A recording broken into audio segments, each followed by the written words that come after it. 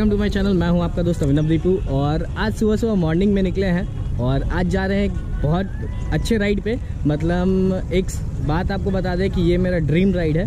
तो आज जा रहे हैं अपने एक ड्रीम को पूरा करने। ड्रीम प्लेस जो है ना, उसके बारे में आपको बता दें कि वो है ड्रीम प्लेस बाबा केदारनाथ। जी हाँ दोस्तों, आज जा रहे हैं केदारनाथ, वो भी बाइक ट्रिप पे, पटना से केदारनाथ। तो बस बाबा का नाम लेते हैं हर हर महादेव।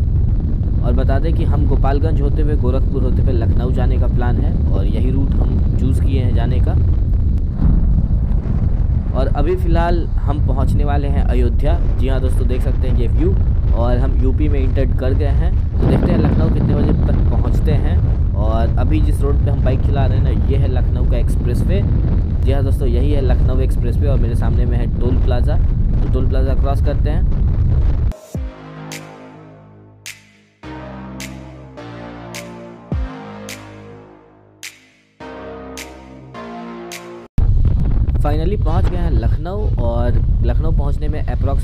10 से 11 घंटा लग गया।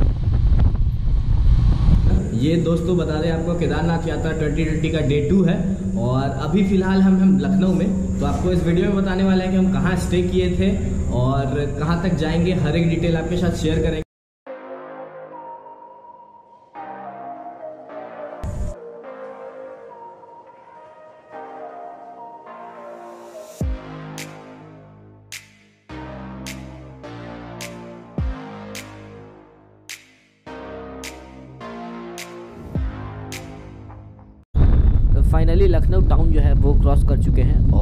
आज देखते हैं कहाँ तक डिस्टेंस कवर कर पाते हैं। तो अभी तो फ़िलहाल बरेली की तरफ़ जा रहे हैं।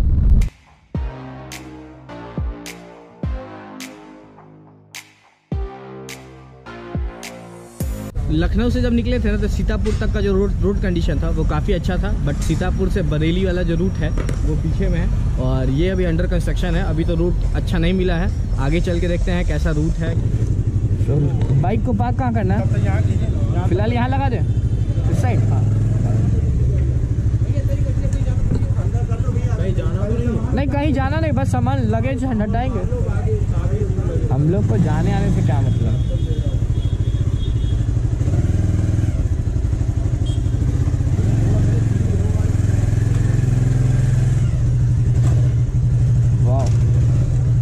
देख रहे हैं, बाइक कहाँ पार्क हो रहा है? इनका पार्किंग इधर है। ओ यार। इसमें हम लोग रहेंगे अभी क्या? इसका आज है डे थ्री और अर्ली मॉर्निंग सुबह सुबह उठ गए हैं और अभी जो टाइम हो रहा है, वो छः बज के तीन मिनट हो रहा है।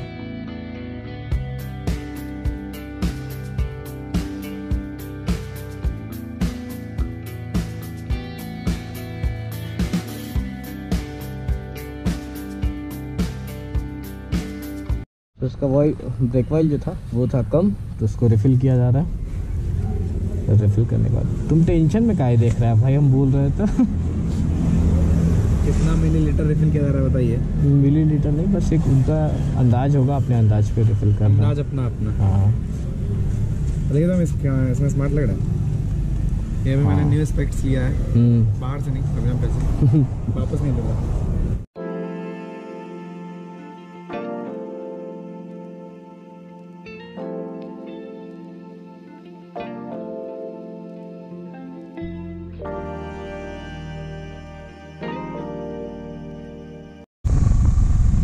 आपके साथ शेयर कर दें कि आज निकले थे बरेली से और अभी फ़िलहाल हम पहुँचने वाले हैं नैनीताल और कोशिश रहेगा कि आज ज़्यादा से ज़्यादा कवर कर पाए। और हम जो केदारनाथ जाने का जो प्लान हुआ था ना, वो मुरादाबाद होते हुए जो प्लान था वो कैंसिल हो गया और अब हम जा रहे हैं नैनीताल रानी खेत होते हुए, रुद्रप्रयाग होते हुए। केदारनाथ जाने का प्लान हो गया है। तो देखते हैं कितना डिस्टेंस कवर कर पाते हैं क्योंकि ये रूट अपने लिए नए हैं। क्योंकि हम बाइक ट्रिप कभी नैनीताल साइड नहीं किए हैं और इधर हिली एरिया है। तो नए हैं हम। तो थोड़ा संभल के चलना है, थोड़ा लेट होगा बट सेफली पहुँचेंगे। बस वीडियोस में बने रहिए, आप भी ऐसे ही। सो फाइनली पहुँच गए हैं हम लोग, और यहीं पे होटल है।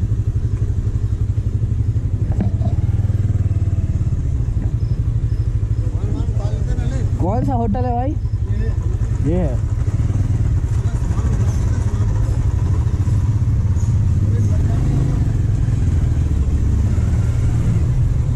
कि रानी खेत कल रात पहुँचे थे और ये आज का मेरा डे फोर है। और मज़ा आएगा बट मेरे पास एवेंजर है तो हम एवेंजर पे मज़ा ले सकते हैं। और आपको बता दें कि आपके पास जो भी बाइक है, वो वर्ल्ड का सबसे अच्छा बाइक वही है, जो आपके पास है। वो स्प्लेंडर हो या हायाबूसा हो, उससे मतलब नहीं है। जो आपके पास बाइक है, वही वर्ल्ड का सबसे बेस्ट बाइक है, ये मेरा मानना है।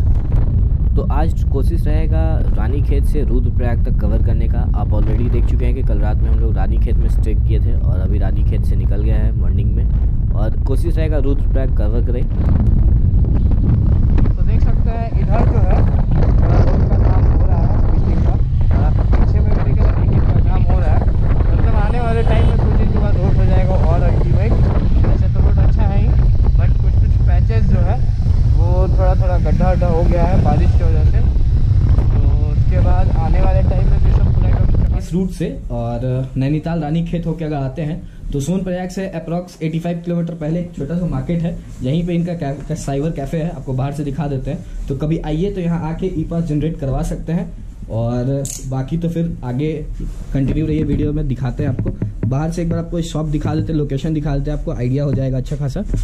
तो देख सकते हैं ये है वो शॉप सागर कंप्यूटर वर्ल्ड और ये है वो लोकेशन तो इस रूट पे जब आइएगा तो मेन रोड पे ही ये शॉप है साइबर कैफ़े है. सो यहाँ आके आप बनवा सकते हैं अपना चारधाम यात्रा का ई पास सो दोस्तों फाइनली अभी हम पहुँचे हैं रुद्रप्रयाग में और यहाँ से सोनप्रयाग का जो डिस्टेंस है वो करीब 70 किलोमीटर के आसपास है 70 किलोमीटर के आसपास. और हम जहाँ रूम लिए हैं, ये मेन रोड पे है, इसलिए थोड़ा नॉइज़ भी आ रहा होगा. सो उसके लिए दोस्तों, अगर यहाँ तक वीडियो देख रहे हैं तो बिना लाइक किए नहीं जाइएगा और भाई के लिए कीजिएगा अच्छा सा कमेंट बस ऐसे ही आप लोग सपोर्ट करते रहिए.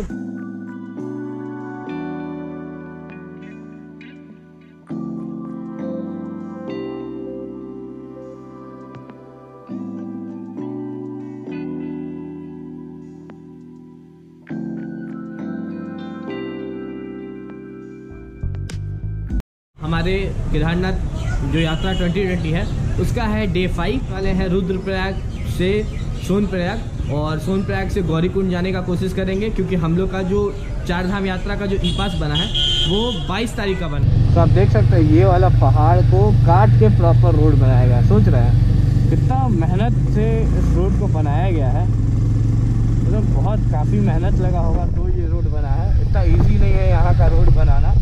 और दूसरा चीज़ क्या है कि हर एक साल जब लैंडस्लाइड होगा तो उसको बनाना होगा। मतलब हमको तो लगता है कि हर साल इस रोड को बनाना पड़ता होगा। सोचिए तो बाबा केदारनाथ के लिए कितना कुछ किया जा रहा है। और हम लोग भी इतना रोड बनने के वजह से ही आज अगर बाइक से हम आ पा रहे हैं तो इसी वजह से आ पा रहे हैं नहीं तो पहले के ज़माना में लोग कैसे आते होंगे इमेजिन भी नहीं कर सकते हैं हम लोग बहुत टफ होगा पहले के ज़माना में आना कंपेयर टू अभी अभी तो प्रॉपर मैप हो गया जीपीएस हो गया बाइक हो गया ढेर सारा गैजेट आ गया इक्विपमेंट आ गया रोड आ गया और ये सब होने के बावजूद भी मतलब ये चीज़ टफ है। तो सोचिए, उस ज़माने में कितना टफ हुआ, करता होगा जब ये सब कुछ नहीं था। तो फाइनली यहाँ रुके थे, काफ़ी अच्छा व्यू है और अभी कुछ कुछ फ़ोटो क्लिक किए हैं हम लोग, सब लोग।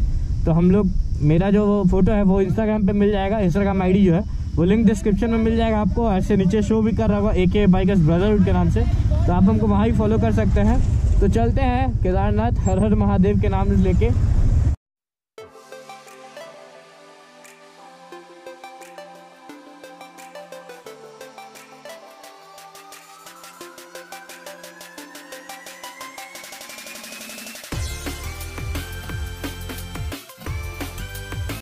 यही है सोन प्रयाग का बाइक पार्किंग और कार पार्किंग।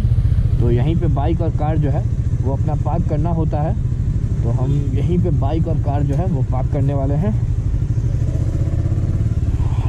ये जेनविन पार्किंग है। ऐसा कोई दिक्कत नहीं है, अगर आप बाइक पार्क करते हैं तो। चलिए, अभी पहुँच गए हैं हम लोग। कहाँ? गौरीकुंड। सोनप्रयाग से आप ऑलरेडी देख चुके हैं कि गाड़ी बुक की है और गौरीकुंड आ गए। तो गौरीकुंड हम पहुँच गए हैं और यहाँ पे रूम ले लिए हैं, बस लगेज वगेज रख लिए हैं। पाँच बेड का रूम मिल गया है और काफ़ी सस्ता है मतलब पाँच सौ रुपया में पाँच बेड का रूम मिल गया है। तो यही गौरी कुंड में रुके हैं और यहाँ से कल सुबह में मतलब पैदल चलना स्टार्ट कर देंगे, ट्रैक करना स्टार्ट कर देंगे।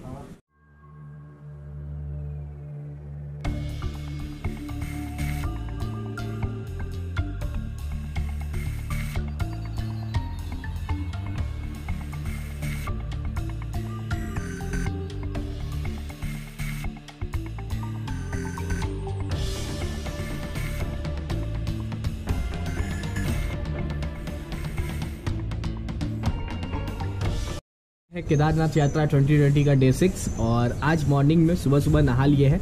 और नहाए कहाँ है? तो अभी हम हैं फ़िलहाल गौरी कुंड में और यहीं गौरी कुंड में गरम गरम पानी रहता है। तो वहाँ से बाल्टी से लेके आए और यहाँ नहाए यहाँ थोड़ा सुबह लेट से होता है और सुबह में ठंडा अल्टीमेट था। सो इस वजह से गौरी कुंड में जाके नहीं नहाए, वहाँ से पानी लेके यहाँ नहाए हैं। और चलते हैं नीचे और आपको दिखाते हैं गौरी कुंड कहाँ है।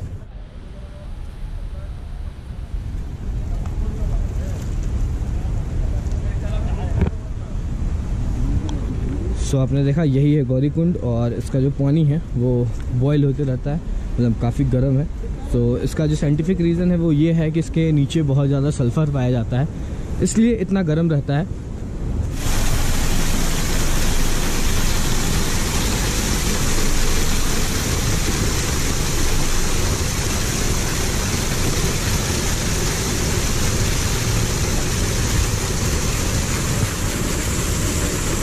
सही में अमृत है।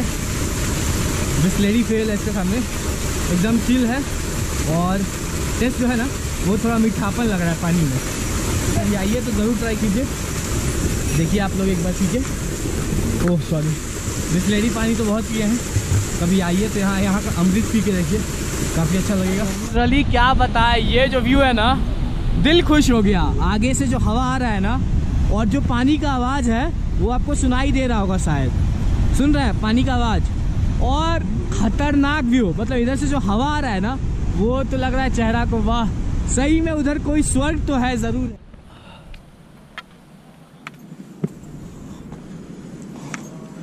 तो ये सीढ़ी है, इसे चढ़ के जाना है ऊपर। तो बाबा केदारनाथ का मंदिर दिखेगा हम लोग को। तो चलते हैं हम लोग। ऐसे ही। जन्नत है भाई, जन्नत।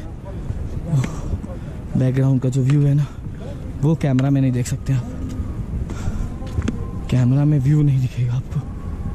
और आगे आरती का तैयारी हो रहा है। फाइनली पहुँच गए हैं। केदारनाथ ट्रैक करके।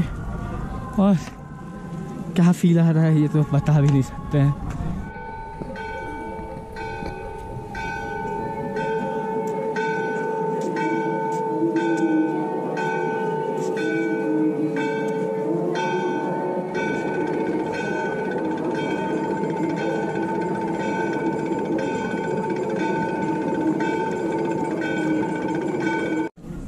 आपको बता दें कि कल रात का आरती जो है, कल शाम का आरती रात में जो हुआ था, वो हम ज्वाइन कर लिए थे और हम ट्रैक करके फाइनली पहुँच गए थे। बहुत थक गए थे, बहुत मतलब लिटरली बहुत ज़्यादा थक गए थे। और आज मॉर्निंग में आए हैं, वहाँ बाबा केदारनाथ का दर्शन करने, पूजा करने। और ये तो भाई जन्नत है ये जगह, और अपना ड्रीम जो है वो भी पूरा हो गया। बाबा के आशीर्वाद से हर हर महादेव जय बाबा केदारनाथ। बस ऐसे ही आशीर्वाद बनाए रखिए। प्रसाद खरीद लिए हैं, पाँच प्रसाद लिए हैं, बहुत लोग को देना है।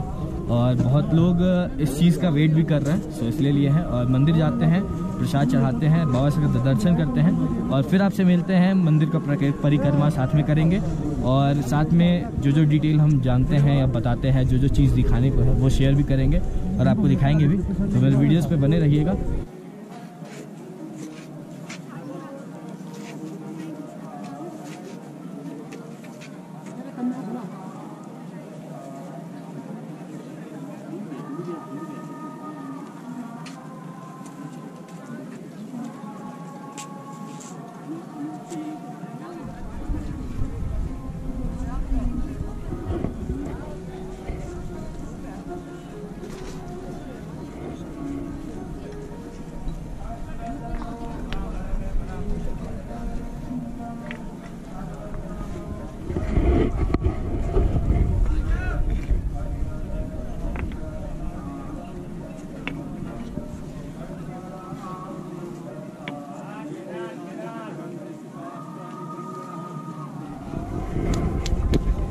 मांगनी मन्नत हाँ।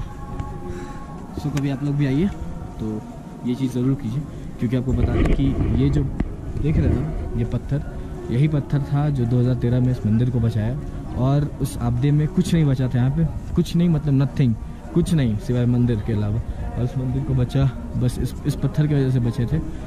सो आप समझ सकते हैं, ये खुद में बाबा ही हैं जो इस मंदिर को बचाए हैं। तो बस सोच सोच के ऊपर डिपेंड करता है। तो आए हैं, हम भी विश मांगे हैं। कभी आप लोग आइए तो अपना भी विश मांगिए, क्योंकि बाबा के दरबार में आए हैं तो कुछ मांग के ही जाइएगा। तो देख सकते हैं, ये व्यू जी हाँ दोस्तों, ये व्यू देखिए, आपको अधिक साइड से दिखाते हैं।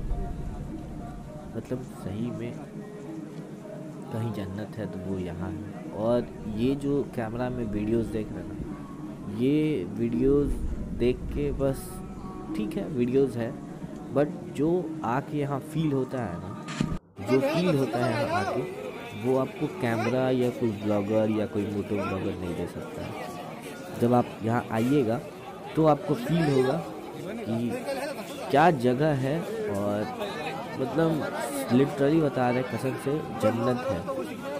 आज अगर धरती पे कहीं स्वर्ग है, वो यहाँ है और वो आके यहाँ जब टाइम स्पेंड कीजिएगा ना तो फील होगा। कभी बाबा का बुलावा है तो आप लोग भी आइए। हर हर महादेव। और यहीं पे वीडियो को करते हैं क्लोज़